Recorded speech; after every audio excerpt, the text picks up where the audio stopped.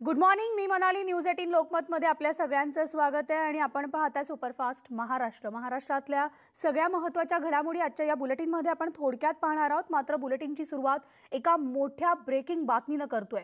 तर बातमी आहे मुंबईच्या लाईफ लाईन संदर्भातली.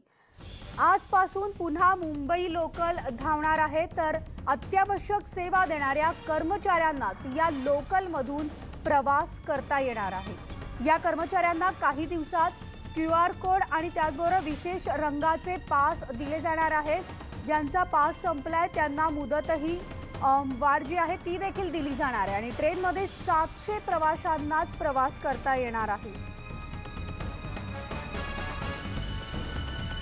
आणि याविषयी अधिक माहिती जाणून घेणार आहोत. आमचे प्रतिनिधी स्वाती लोखंडे आपल्यासोबत आहे स्वाती गुड मॉर्निंग आणि मुंबईकरांसाठी नक्कीच एक गुड मॉर्निंग म्हणावी लागेल. कारण गेल्या कित्येक दिवसापासून अगदी जवळपास दोन अडीच महिन्यांपासून मुंबईची लाईफ लाईन जी ठप्प होती ती आता अत्यावश्यक सेवेसाठी का होईना पण सुरू होतीये. गुड मॉर्निंग मनाली आणि खरंच आहे की या शहरासाठी रेल्वेचं धडधडणं एक एखाद्या संगीतासारखं आहे कारण ती जीवनवाहिनी आहे आणि जी गेल्या अनेक दिवसांपासून ठप्प होती आणि आहे ही आहे यासाठी कारण या आजपासून लोकल सुरू झालेली आहे आणि त्यातून फक्त अत्यावश्यक सेवा देणाऱ्या कर्मचाऱ्यांनाच प्रवास करता येणार आहे. राज्य सरकारनं हे कोण आहे लोक आहेत ते ठरवलेले आहेत. साधारणतः दीड एक लाखांच्या आसपासची लोकसंख्या आहे.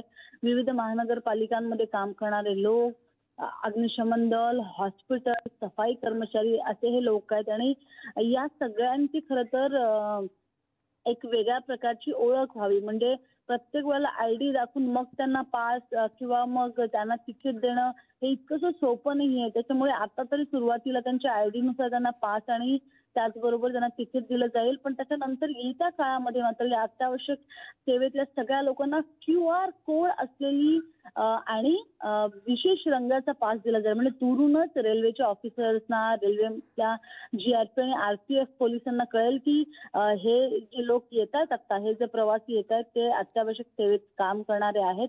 अशा पद्धतीचे हे पास असतील. पण सगळ्यात महत्वाची आणि मोठी गोष्ट आहे की आज सकाळपासून मुंबई लोकल धडधडते विशेष म्हणजे या लॉकडाऊनच्या काळामध्ये काळाच्या थोडंसं आधी ज्यांनी पास काढले होते ज्यांचे पास आता जरी एक्सपायर झाले असते तरी आणि तरीही तेव्हा पास काढले होते आणि साधारणतः एक महिनाभरांची ज्यांची मुदत राहिली होती किंवा अनेक काही काही जणांनी तीन तीन महिन्याचे काढले असते तर या सगळ्यांना आता मुदतवाढ मिळणार आहे.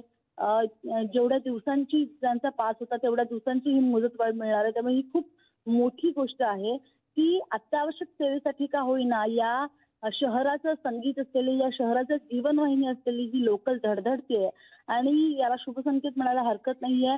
आकडा वाढतोय खूप मोठा मोठ्या प्रमाणात आकडा वाढतोय. एक लाख सात हजारांचा टप्पा अं, करोना बाधितांचा गाठलेला आहे. आणि म्हणूनच ट्रेनमधनं प्रवास करताना आता सामान्य मुंबईकर नाही पण या अत्यावश्यक सेवेतील लोकांनी काळजी घेणं गरजेचं आहे.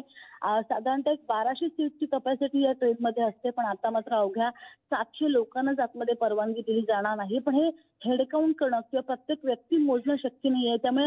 अत्यावश्यक सेवेतल्या लोकांनीच काळजी घ्यायची की आतमध्ये जाताना गर्दी असेल तर जाऊ नये.